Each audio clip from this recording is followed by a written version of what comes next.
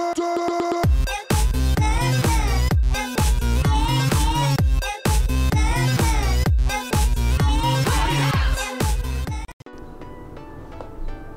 everyone, so today I'm going to be doing, well no, I'm going to be cutting my hair and then dyeing it for you.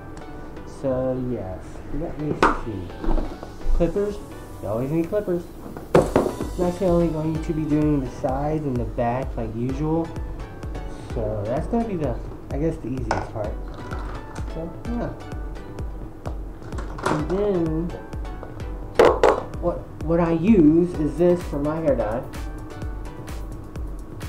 This was like $18 and you got a lot of it. It's like a cocaine. It looks like cocaine. But yes. I use this and I use a 40 volume. Sometimes I'll use like a 20 or so, maybe a little less. It's not too strong, but yeah. And most times I don't use a toner, I just leave the hair dye in my head for a good amount of time. So most times I don't have to use a toner, but if you do, if your hair comes out orange, go get some toner. But yeah, let's get started.